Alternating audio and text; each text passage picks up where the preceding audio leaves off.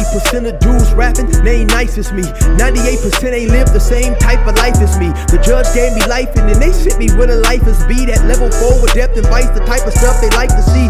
Two choices, fight or flee. I refuse to die a chump. I never been a mark, but damn, it's scary when that riot jump. I seen dudes cry, get pumped, and some sexually brutalized. Knew a dude who lost his life and he was only doing five. Year long racial fights when homie, all you do is ride. Lonely days and nights up in a hole causing suicide. From the moment you arrive, you see the Mexican mafia. AB skinheads with big giant swastikas. Pro black philosophers, the BGF, the Kumi. And Muslims who will murk you from the nation to the Sunni. That MS was loony, quick to ride up on they rival. Even Christians went to church, hide knives up in a Bible. Political and tribal, the Crips and moves. The Long Beach, the Hubs and the Dubs and the Grooves. The IE, the Bakersfield, the Dago Pie rules. The hustlers quick to roll, the gangsters don't move. Whatever click you choose. You Say what's cracking YouTube? It's your boy 16 to life, and I'm back like I'm on a pro violation. Yard down. Now today we got an extremely special guest going on. We got the brother Damion Porter. Um, he has a prison channel. It's called Damion Porter Prison Prison Chronicles. I definitely want you guys to go check that out, like and subscribe. He got some good videos. Um, he just recently came home from doing nine years, and uh, he started his YouTube channel. So tell us a little about yourself, Damion. Well, uh, hello everyone, and like Chill said, uh, check out my YouTube channel, Damion Porter Prison Chronicles, and there I explain some of my life, uh, how my criminal activity began, which was at the age of 14 years old. And I started off and I went to camp at the age of 14. And then from camp, I did a year in camp, got out when I was 15, ended up going to CYA for four years, got out from CYA when I was 19. And all of this was for robberies. Uh, and from CYA, I went to prison. Uh, first a level three, first a level two prison, Avenal. Then I went to Corcoran, level three in 95, then Lancaster 96. And then I graduated to the level four prisons in 1999, having caught another robbery. Uh, now, now, excuse me real quick, Damion, before we get too before we get too far ahead of ourselves, let the folks know where you from, where you grew up at, and and things like that. Okay. Uh, well, uh, I, I, grew up in in Watts and in South Central, uh, and of course, both of them are uh, very extremely dangerous situations.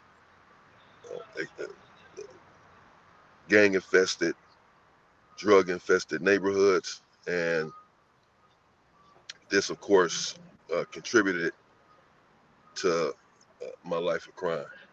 So let me ask you now. You said you so originally you grew up in Watts. So how old were you before you moved to um to South Central? Twelve. And so um growing up in Watts, I'm sure by the age of 12 you had become well aware of the gang presence and stuff like that. What what area was you staying in? I was staying on like 102nd and uh, Central, I guess would be the first, uh, the best way to describe it, or 103rd and Central right across the street from Will Rogers Park, now known as Ted Watkins Park, in a, a place called the Franklin Squares. Uh, and they built the homes over there in 1978. Everyone that's over there or that was over there at that time, they all moved. We all moved in at the same time in 1978, and we ended up losing our home in 1986. A lot of people who moved into the homes in 1978. They're still there. Uh, but of course, some people lost their homes as well. We were one of the first ones to lose our home. Uh, my mother was a single parent, taking care of all the children, and a struggle ensued, a financial struggle ensued, and uh, we ended up losing the home. And at that point, we moved to 110th in Vermont, uh, in South Central, and I stayed there for some time, and then we moved to Culver City, and so my childhood was after the age of 12, just full of me moving from place to place and trying to get stabilized. And so let me ask you this, you know, I, I believe, you know, because I have a lot of viewers a little bit everywhere. So we want to inform them that the Franklin Square, that's a predominantly Crip, uh, Crip populated area, right? Yes. So had you had you become introduced to cripping or or had you started cripping before before you moved? Yes. Uh but as I said, I moved at 12 years old. So Right. you know, So while what, while you was what sort of game banging can you really do at the age of 12? you know? right, you may have been introduced to it, but you wasn't you wasn't an official member. But it do you was influenced by the culture of, of cripping. Yes. Right. And then so at what age do you believe that that you know the saying goes that you hopped off in the porch and you really started getting into the gang banging type stuff and uh you know out there running the streets? Uh, well, I would say that would probably be at 13. Uh-huh. uh, at the age of 13, I really, once we had moved, and I think that uh, looking back on it, I became upset, a little bit unruly, and felt insecure and unstable with my living situation and my family situation at that juncture. And I began to act out. And I was shot with a 12 gauge shotgun uh, close range. I still have over 400 pellets, according to the doctor that testified in my trial, in my left leg. Uh, two of the pellets have traveled to my heart over the years. They're sitting there right now. Uh, that I took that gunshot wound when I was 12, and I was nine days away from being 13 years old. Uh, so, and then after that happened, I really became even more unruly and didn't care and began to run the streets even more. And then at 14, as I said, is when I began to get caught for my criminal activity and began to have to pay for it. Right. Now, Damion, let me, with let me incarceration. let me ask you, you had you had mentioned that um your mother was a single mother. How many brothers and sisters did you have? And where do you fall on that totem pole? Are you the oldest? Are you the youngest? Where did you fit in? Well, I have two sisters and one brother, and I have a sister, a big sister, who is three years older than me. So I'll be 50 in February. She'll be 53 in March. And then my brother is 10 years younger than me, and my little sister is 11 years younger than me. So it's my big sister than me, and then my two youngest. They, they're one year apart, 10 years and 11 years younger than me. Right. And then so you you mentioned something that was extremely interesting, man. And I have to ask you a little bit about this and um feel comfortable to discuss as much or as little as you are comfortable in discussing. Though, how did you get shot at the age of 12 years old with a uh, with a shotgun? Well, uh, as everyone will see when they subscribe to my channel, I'm an open book and I don't really hide anything. So I feel free about discussing the entire situation, really. But just to paraphrase it or to summer or to summarize what happened, uh, uh, I was in a park right there at Will Rogers Park uh, that I was speaking about in Watts, and with a few of my my childhood friends, and we were playing with some dude that had passed by. And I was 12 years old. We were all in that age group, and we were like calling him names or something, telling him to get out of here, get out of the park. And he left. A black dude. He left, and a few minutes later, we were leaving, and then I saw him coming back. I, I recognized him as being the same guy. I saw him coming back. He had a trench coat on Mm, with a hat on, and I didn't I didn't recognize either that attire at first, but then when I saw him again, he had the trench coat on, and so he ran up on me, and I just threw my hands up because I couldn't even get away at that point. My homeboy that was with me, he ran, he was able to get away, and he came out of his trench coat with the shotgun and was right. I he was right right there on me, right just had it right there on me. I mean, I, I, two inches away and I think perhaps he recognized at that juncture that I was a young person, that I was 12 years old. Uh, with I don't know how he thought I was, but he could say see that I was a, a bit younger, and maybe decided then to spare me or spare my life. I don't know, but he wasn't trying to spare me too much because he ended up shooting me in my left upper thigh. I think perhaps he was aiming for my private parts. That's what I always thought, and that the gun kicked when he shot it, and it just moved over because it just barely missed it. It just moved over just a little bit and hit me right there in the upper thigh. Wow, that's that's extremely interesting, man. And if you don't mind, I got I got a few questions on that. But uh, first question I have: How old do you how old do you believe he he was? Uh, I would say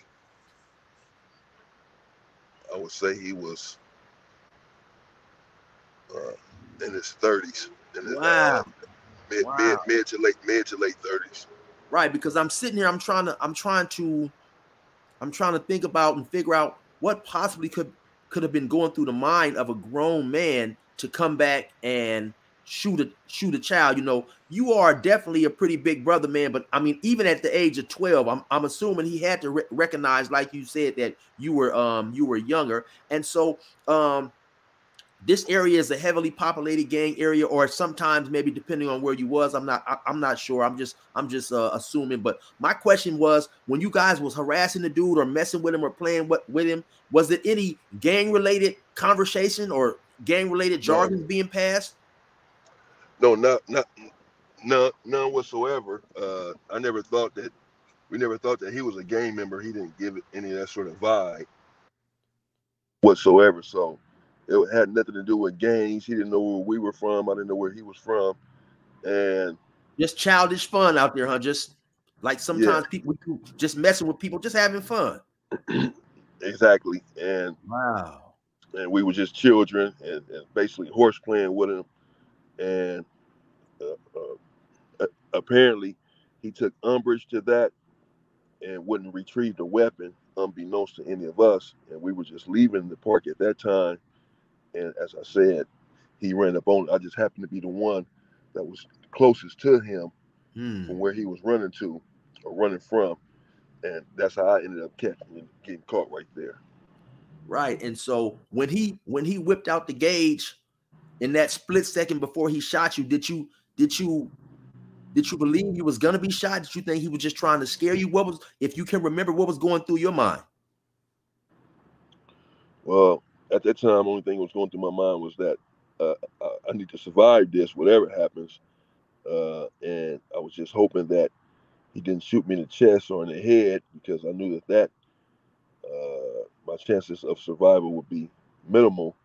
Even at that age, uh, I had digest digested that truth, so I was just hoping that basically that he did what he ended up doing, which is shoot me someone in the leg. I was hoping that he didn't shoot me at all, of course, but if he did, I was just hoping that I would survive it. I was uh, he had it, the gun on me just for a second, so I was hoping just I, I only had a split second to hope that he didn't follow through, but it was just a second. I mean, he put it on me, and a second later, he pulled the trigger.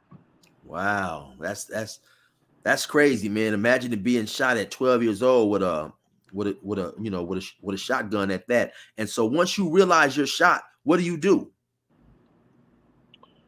Well, I and ran. Did, excuse me. And, oh, and that's what I was going to ask you. Did the gun did the gun knock you down, or what happened after he shot you? Well, it almost knocked me down. It it it, it uh, blew me back some, carried me back a couple feet. Just a sure and sheer power of the blast. Wow. Of a, of a 12 gauge, and I was a big dude, but I was still 12. Right. Uh, and so, but I didn't fall to the ground at that point. I fell back some, and I began to run. Uh, if you want to call it a run, real slow. I just felt a real hot heat in my left leg, just like as if it was burning, as if it was on fire. And I remember looking down to see if it was on fire. It just felt like it was on fire, but I was just those pellets on the inside just eating me up. And I ran about a half a block and I couldn't run anymore because my leg was just giving out on me. So I stopped right there and I sat down and began to hope that he didn't come back mm. uh, because I couldn't even move anymore. but I figured that the people that I was with were going to retrieve a weapon or something of their own and, and coming right back. So I figured uh, if he comes back, he better do it now. Uh, and so the ambulance came, didn't take too long because I was there with my friends and they saw what happened or they knew what happened. So they automatically ran and called 911 when they took off running and heard the and heard the gunshot. They heard the blast. And so they took off and they, so they, the ambulance didn't take too long, thankfully. And I think that that helped to save me because I lost a lot of blood. Wow. And so I, I, know that had to be being being shot at the age of of 12 years old. I know that had to be an extremely fe- fearful situation, right? And so I'm I'm assuming some of my some of my viewers are are thinking, why did why didn't being shot deter you from later on getting further involved into the streets and eventually in, in, in gangs and stuff? Well, uh, for the same reason that people who go to prison, they return to prison after being paroled, or people who use drugs, they use them more than once and don't stop when they use the drugs one time, even though they know that the drugs are a detriment to their body. Uh, it's just the environment, essentially, uh, here in the ghettos, grottos, and catacombs of America that we end up growing up in, and the culture that we adapt to and adopt, uh, oftentimes dictates that your criminal activity it continues in your younger in your younger years, and so uh, even though I, I got shot, the same circumstances that led me to be hanging out in the park at night, getting shot, were still there after I got shot. Those same circumstances were still there. I was still living in poverty. I still didn't have a father in the home. I still didn't have any proper direction. And so getting shot only exacerbated these shortcomings. And so instead of uh, them turning me around, they aggravated the, the gunshot aggravated me and put me into the streets deeper. And you know what? I think that's a great point that you just made, Damion. And that's extremely profound because you have a lot of people who don't live in these communities that some of us are raised up in. And so they only see the end result after we go to prison or while we're in prison, but they don't understand the circumstances that lead to this. And I think that you pointed that out sometimes. You know, sometimes we don't see better opportunities or we don't have access to opportunities. And so what we see is what's going on in our community. And I just think that was extremely uh an extremely intelligent breakdown that you've done, man. And, and so thank you on that. Um You're welcome. And so what so now after you said eventually you started you started getting into robberies, how how did that come about? Well, uh me and my best friend I would say it started with him. Uh, I was again in the same age group, about 12, 13 years old, and I, had already began to become familiar with weapons, having been shot and growing up and watched uh, again, gang infested and weapon infested. Uh, I was no stranger to a pistol even at the age of 12 or 13. And so uh, I thought that selling drugs was not really something that I wanted to do uh, because uh, just the idea of it turned me off because of uh, a little drug history in my family. And also, I didn't have the patience to sell drugs, uh, to sit around and wait for days to build money up or wait on my money when I was in need of money right then and there, even at that young age. And so I figured the best way to get money and to get it rapidly would be to rob. And that's what I began to do. Uh, I picked up a, a weapon and I got a friend who was willing to do the same thing with me, to rob people with me. And that's what I began to do. And once I started, it was almost hard to stop because for one, I hadn't gotten enough money to stop. It's not like I was robbing banks where I got enough money and I could turn my life around now.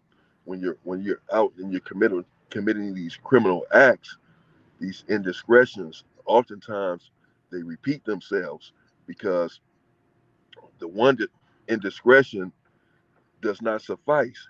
Even if so, if you're selling drugs and you sell 10 kilos, that's not enough to, to hold you for the rest of your life. And so you have to continue to sell and continue to sell, particularly if you don't take that money and invest it into something legal and grow the money uh, with your mind. Right. And it's the same thing with the robberies. And so uh, for every one robbery that I got caught for, there was 50 that I didn't get caught for. But I, I, I committed another one and committed another one because the money that's coming from them is not enough to sustain me forever. It's, it's going to run out at some point. It's not that much money that I'm robbing for. And so now when the money runs out, I'm, I'm out looking for another robbery. And at some point, you continue to commit the crime. At some point, you're going to get caught. Right.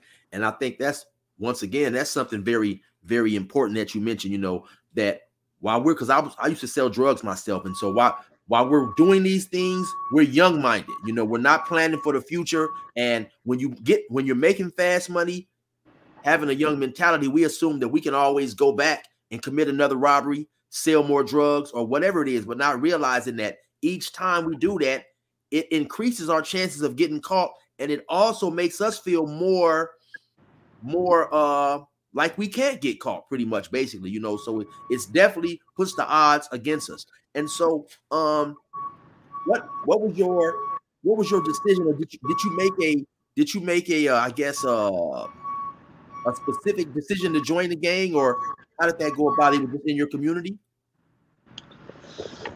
Well particularly back then you didn't really have a lot of choice uh, growing up in in gang neighborhoods.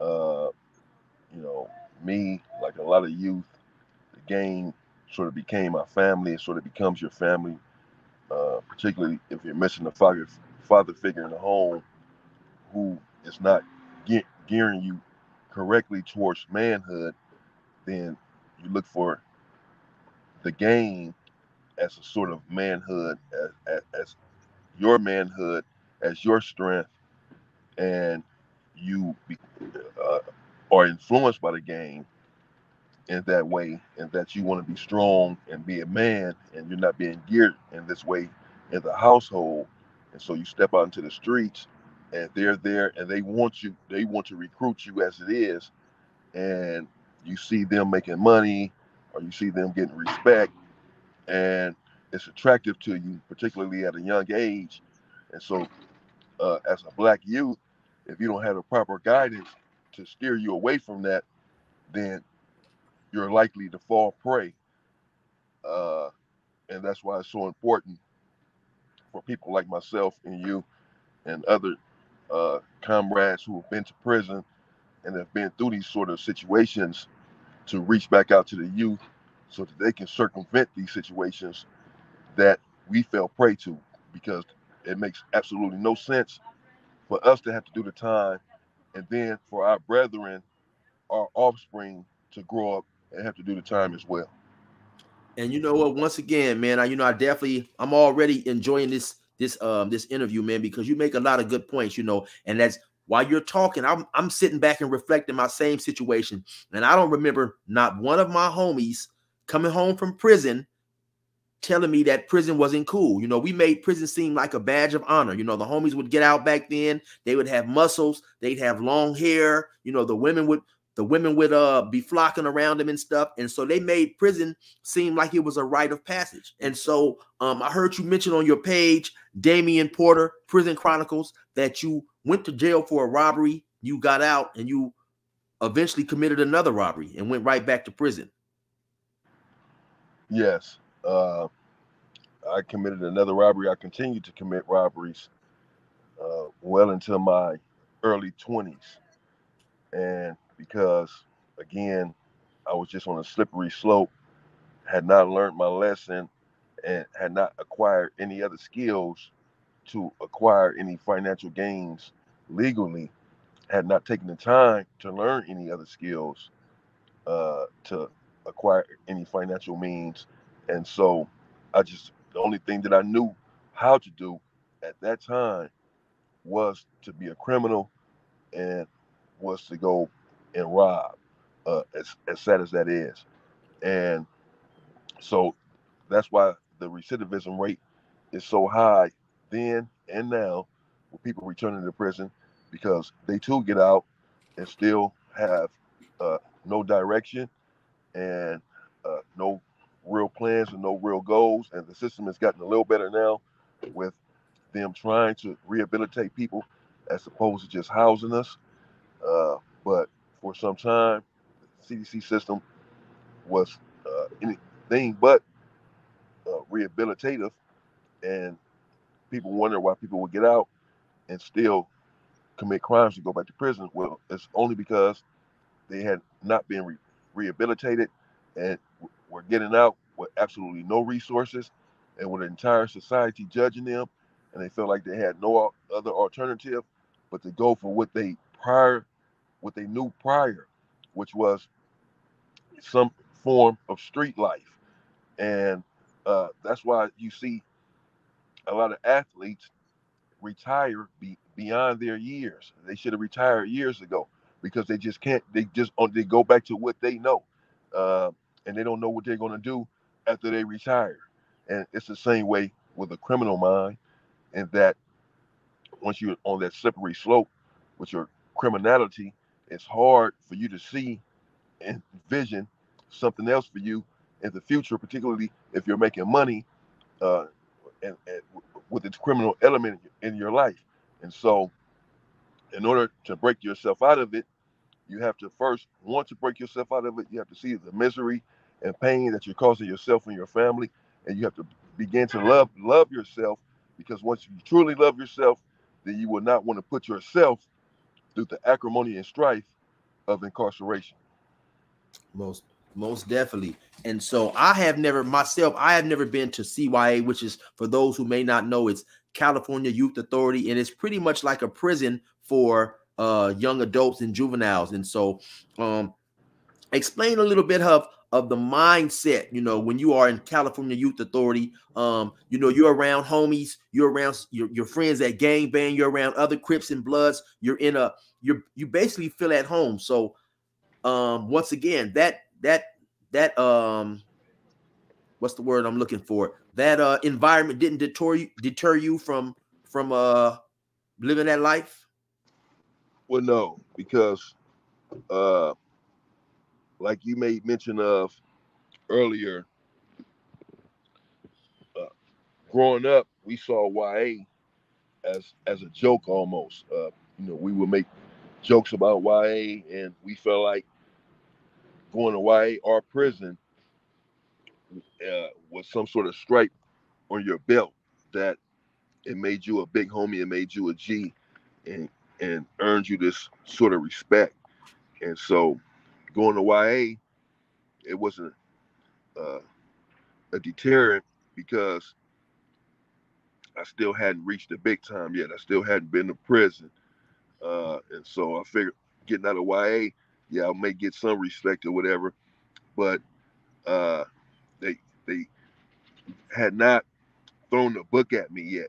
They had not been super serious with me yet to the point where I was ready to begin to change my life. I was still young when I got out of YA. I was 19 years old, so you know I'm still ready to uh, run the streets. Uh, I hadn't learned too much while I was there, as far as any sort of direction. And so when I got out, I still had no direction. And once again, I reverted back to what I knew best, uh, the one element in my life that I thought never failed me, which was to pick up a weapon and to point it at someone, not understanding at that point in time the damage, psychological and emotional damage that I'm causing someone else when I point a weapon at them. Uh, even though I had one pointed at me in my younger years and fired upon uh, it still hadn't registered to me at that young age the trauma that could potentially be causing someone else with my actions. And when it began to register, it's when I began to change. Now I got a I got, I got a quick question for you, Damion. Um, you wasn't you wasn't a lifer, right? No, I was not a lifer. And, and uh, thankfully, they was trying to give me life though. They was trying to give me life, but I didn't. I didn't get it. The reason why I asked that question is because I've done a lot of time in prison, 24 years, right? And I can honestly say that a lot of my um, intellectual maturity came through classes that I was forced to take as a by being a lifer. What I notice about you is you have an extreme amount of insight. You're extremely intelligent, and I'm impressed because like you said, you wasn't a lifer, so you wasn't forced to take any of these type of classes. You know, your awareness of, of your lifestyle on how it affects other people is extremely high, especially for a person who wasn't a lifer. Because a lot of people, when you're not a lifer in the California prison system, you don't have to go in front of the board. You you're gonna get out. Only thing you have to do to get out is stay alive until the day your date comes. And so many yeah. people, many people sadly don't choose higher education. You know, a lot of people think that because you get older, you get wiser, and that's not true. You know, you have to seek you have to seek information and education in order to become wise. And I noticed that you've done that, so that's that's impressive. You know, anytime I would see a person who wasn't a lifer in one of the self help groups that I was in, to me it was impressive because I can honestly say I wouldn't have been in the class if I didn't have to take the class in order to seek my freedom. But I heard you say earlier that you you originally went to Avenal. Avenal is a level two. And while Avenal is still a prison, any prison is extremely dangerous. But what's the difference between Avenal and one of these level fours like High Desert? Well, the difference is monumental. Uh, you know, Avenal, you know, of course, the prison system is based on a point system. Uh, the point system determines what level you go to. And the level one, two, three, four, uh, level one being the lowest, level four being the highest. And so level one and two are typically pe- people with lower lower points that have lower time, one year, two years, six months even, and uh, are in there for a somewhat petty crime. And so they put them all together in the dorm on a level one and a level two. There's not much politics there. Uh, everyone has a date, and their date to go home, oftentimes, it's very near. Uh, whereas on a level four, the vast majority of the people there have life sentences, and they don't have a parole date. They're just now giving lifers parole dates and letting some lifers out. At this time, in the early 2000s and in the 90s, lifers were not going home at all whatsoever. And so they really had nothing to lose. They felt like they had nothing to lose. They were trying to program and still were not yielding anything. Uh, the government wasn't yielding anything to them uh, in terms of their freedom. And a lot of them began to politic very hard, began to turn on the police at this time.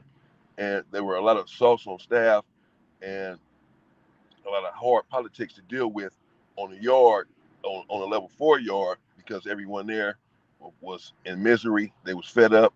They were aggressive. They were violent and dangerous because they had life sentences and they were not going home. And this built up trauma and anger oftentimes causes them to lash out on whoever's around and that's and, and that's 100% correct. And basically also the tension at a level two is periodic. It's every now and then something happens. There may be some grouping it may be some fighting or whatever some racial uh, politics going on. The tension at a level four is constant. It's daily. It's you almost even when there's nothing going on it's something going on because you know it's just a matter of time. Um at a level four. To be honest, you know, uh, I wouldn't I wouldn't want to go back to a level four at this stage in my life, just knowing knowing the potential of of losing life or taking life at a level four. And so, what prison did you get to initially that you realized, okay, this is prison? I'm really I'm really where it's cracking at. Uh, uh, that would have to be high desert, you know, uh, because I was in Corcoran in 1995, as I stated, and Corcoran was also a violent prison, particularly for it to be a level three. A lot of level threes are not violent. Ones and twos are almost non-violent. Uh, and some level threes, you know, they have a little situations here and there with violence, but for the most part, as long as you do what you need to do, you'll be okay. but with Corcoran and the police setting up fights at this time and betting on the fights, and then unaliving the inmates once once they fight on the fight that they set up and bet on, uh, there's a lot of tension there in, in 1995 uh, because these fights were transpiring in 1994 for the most part. And I got there in February 1995 in Corcoran. But so I was beginning to see a little bit about prison and what it was about there in Corcoran, but still nothing compares uh, to a level four 180. Absolutely nothing. And I would even venture to say that many level fours, uh, if not all of them, do not compare to high desert state prison. I talk about high desert on my page and the violence that besets high desert, and the violence is palpable in the air. The air is constantly thick and tense with violence. Every group in High Desert State Prison, while Pelican Bay is the most famous prison right now, High Desert is the most violent prison. Anybody who's in prison, who's on a level four, uh, they know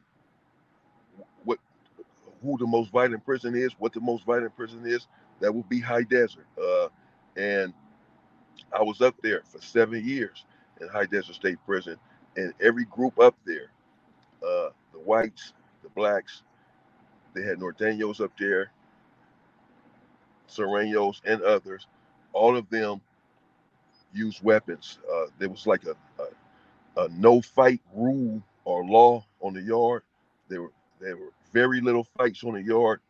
Most incidents involve an assault with a weapon, and uh, most of the assaults with a weapon were very ugly affairs. Uh, none of them were uh, just uh, small acts of violence. All of them were intense, and uh, many people were unalived when I was there in High Desert. And so, High Desert, with the hardcore politics that goes on there. It's the prison for sure that really showed me what prison is about about politics and violence. And if that if you're not on your p's and q's you really could lose your life in this place. Because before i got there i still had some play in me. I still thought maybe prison was a joke. Having just been on that level two and level three yard i still had to begin to take things serious or take prison serious until I got to high desert and realized that it's very serious and that if you're not careful and cautious and working out and being strong and studying, that you can lose your life because you're not alert and you're not paying attention. Now I have a quick question, right? Because I know that depending on what prison a person may be in, there's always the possibility of guards aiding a certain group of people. I think I believe it's just human nature. You know, um, some people are gonna have a certain affinity for their race and they're going to try to help them as much as possible. You know, I think a lot of times people think that because a person dons on a law enforcement suit, he becomes infallible and he's automatically um, free of, of corruption, and which is not true. So this I believe this happens at a lot of prisons, but I have often heard that High Desert was extremely racist in terms of the guards aiding the white convicts, giving them knives, uh, uh, things of that nature. Um, in your experience, was that true? Yes. Uh, High Desert is extremely racist. Uh, the most racist prison in California. Uh, the COs there don't even hide the fact that they're racist. They make no bones about it and no apologies for it.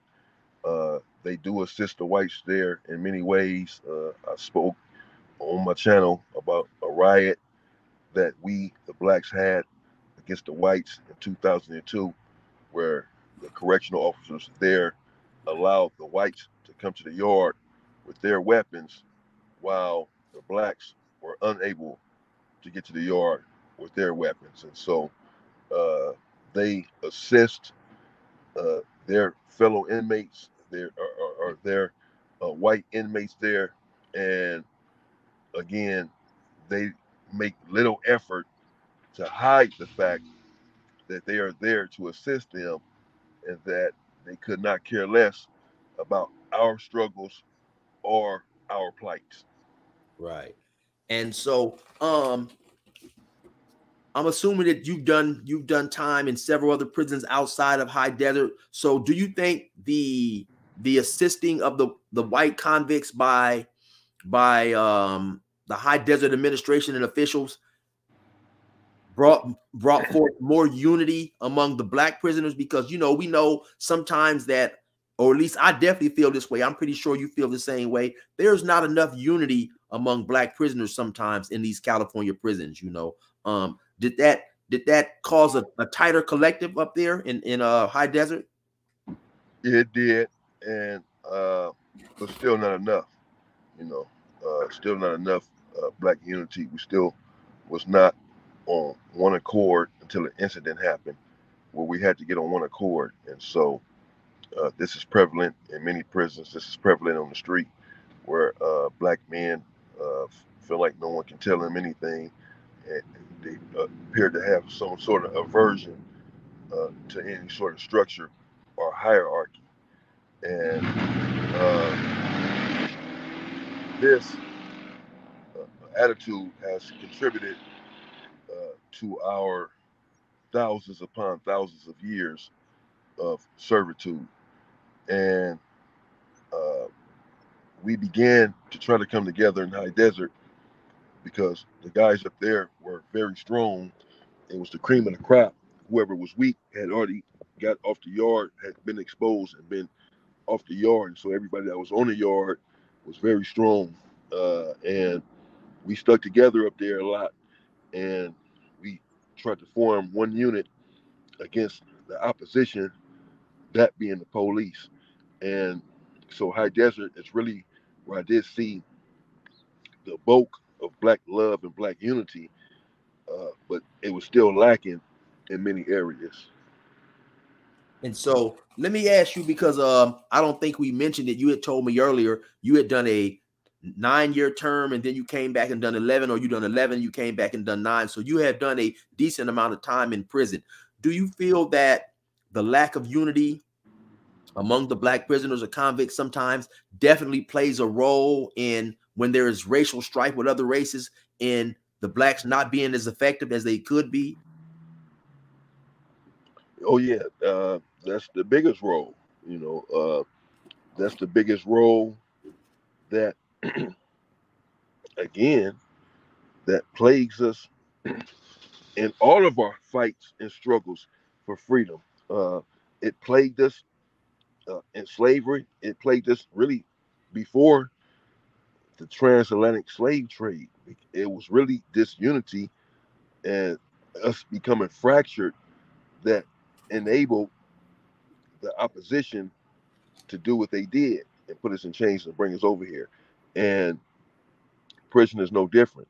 The disunity uh, disallows us to realize our strength because we're so disunited. Uh, and that, therefore, when we get into it with a different group, we don't have the same strength and aggressiveness and togetherness that preparation and self love and unity would bring if we had those things. And sometimes it puts us in a position where we are in a weaker position when it comes to these riots and such in prisons because our communication is off and our communication is off because we don't have the proper unity. Right.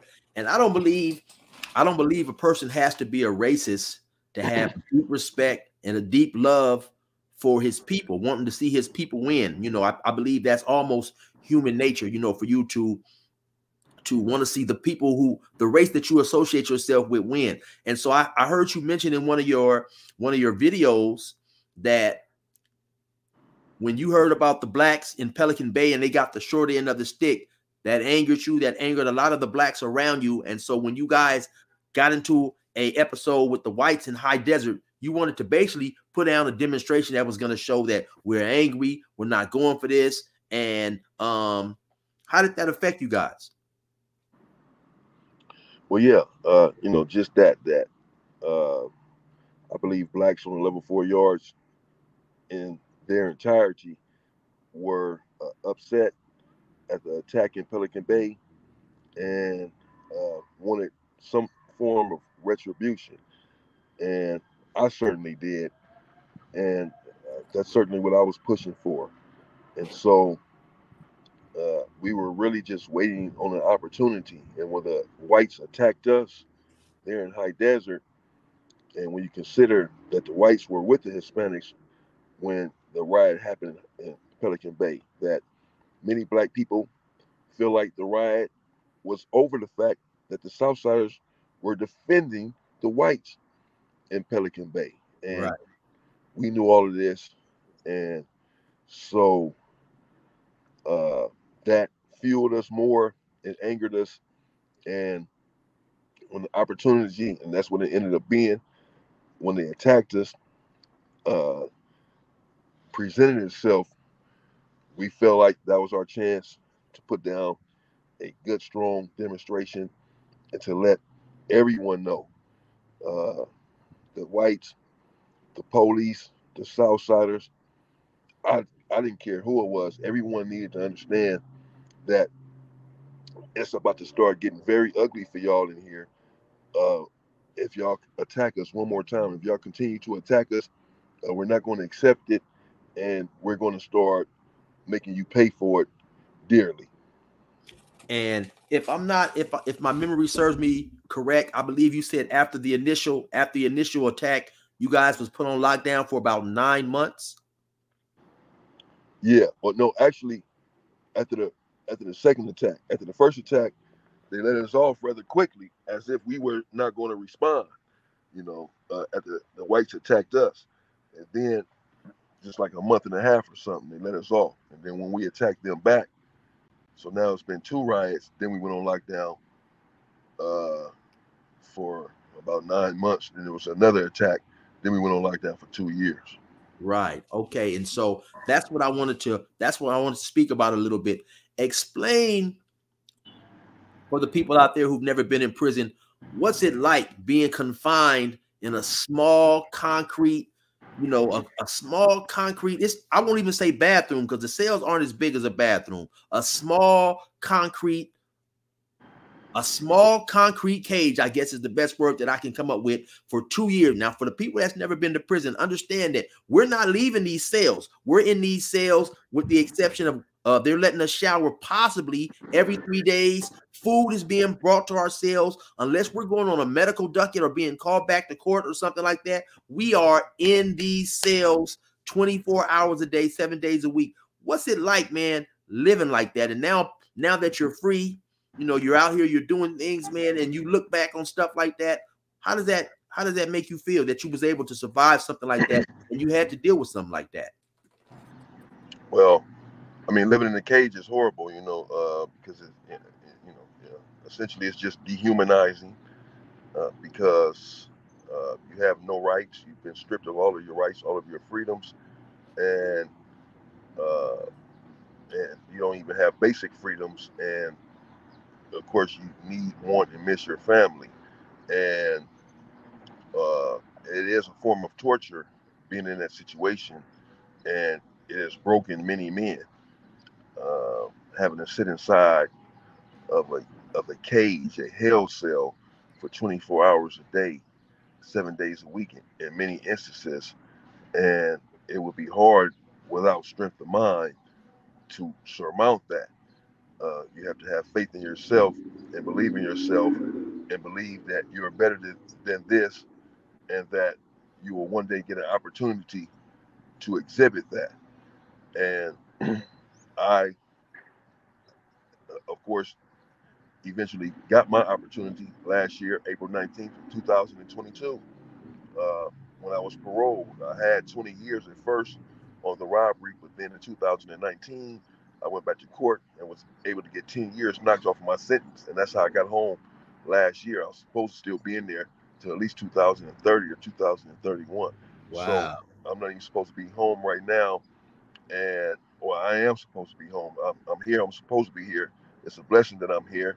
And I'm supposed to be here because I'm not supposed to be uh, incarcerated. I'm a prison abolitionist. I don't believe that uh, only a few people really in the world uh, should be incarcerated. People, these people who are really irredeemable, but uh, most people are redeemable, and uh, and I just feel like America's just not in a position uh, to point its finger uh, at anyone Uh, without forgiveness, considering that uh, my people have forgiven them.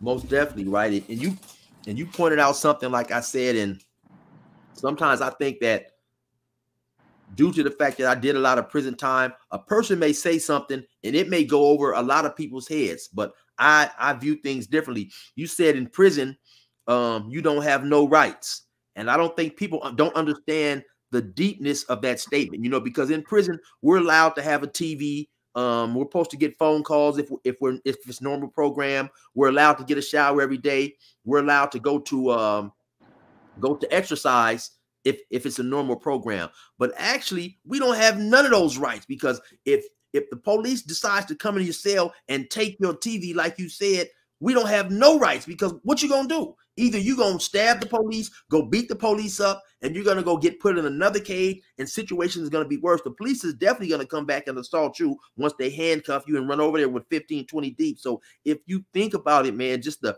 the the the deepness of your statement, you we have no rights whatsoever in prison. What are you gonna do? And then any recourse that you do have through some type of legal process may take two, three years, you know, uh, uh, five, six months to write and say, hey, the, the police took my TV. So I just think people need to really, really think, man, before they put themselves in a situation. You know what I mean? Well, yeah, uh, exactly. Uh, it's really not something that you can try to convey to someone. That's someone. That's something that someone would have to live in order to really grasp uh, the detriment it causes to one's psyche. But I wouldn't encourage anyone to go and find out for themselves. And my whole message and my whole channel is uh, geared towards trying to steer the youth away from making the same mistakes that I made. Because uh, again, it makes no sense to me that I would have to go do all of that time and that my brethren would then turn around and have to do the same time that I did. That it has to stop somewhere. That means that I'm doing something wrong. Uh, I haven't learned something, and if I have learned it, I'm not sharing that message with my people. If they have to turn around and go through the same things that I went through. Most definitely. And one quick question I want to ask you: What is the most um when you was in prison? What is the if not the most, what is one of the more horrific things that you've seen um, in terms of violence that will always stay imprinted in your mind? Well, uh, I saw many, obviously, uh, particularly there in High Desert, with it being so violent. But the one would just be, I guess, probably the story that I just told, actually, the video that I just put out just yesterday on my channel, and they would have to go subscribe to check it out. But it's uh, the unaliving of Southsider Flaco uh, there in Corcoran SHU, and uh, he was unalived by another Southsider who was a white boy. He was a white dude, but he was running Southside, and uh, the way it all went down, uh, it was a little eerie, and sometimes uh, it haunts me. And so you guys heard it, man. In order to check that story out, go subscribe to his page, Damion Porter, Prison Chronicles. That's D A M I O N P O R T E R, Prison Chronicles, man. Um, hopefully you guys will enjoy this interview and want him back. Hopefully, he'll maybe come back and bless my channel with his presence again. And anything you want to say before you uh before we head out of here, Damion? Well, just want to thank you, uh, Chill, for having me on. I appreciate you, brother, and uh, you're very uh, intelligent as well, and keep doing what you're doing, uh, uh, trying to help uh, shed light on what happens behind those walls, and hopefully, uh, they your message reaches the right ears, and it steers people away from the dreadfulness uh, that is incarceration. And uh, I'll just piggyback off of what you said and reiterate what you said. And that's ask the people to uh, subscribe to my channel at Damion Porter Prison Chronicles. And I appreciate you, brother. All right. Once again, you guys, just don't go and watch. Go and subscribe, man. Help the brother, uh, help his channel grow, help him spread the message. Check him out once again. Damion Porter Prison Chronicles, man, on YouTube. And one last question I want to ask you too before I go. I've been thinking: was you was you robbing establishments or was you robbing people? Uh, people. Because I want to say, as big as you is, man, how did you think you was gonna rob somebody and they not remember his business? yeah, well, one time I did get arrested for a robbery that I didn't do. Right. Yeah. So, but yeah, of course, it, it'd be hard to get away with my size. Yeah. Right. Hey, so you know, like I said, once again, check him out, man. He has a lot to share, a lot of information. Uh, his channel is extremely, extremely good. I watch it myself. Uh, thank you for showing up, man, and hopefully, you know, I can interview you again someday. Absolutely. Thank you, brother. All right, you have a, you have a good day. You too. Thank you, brother.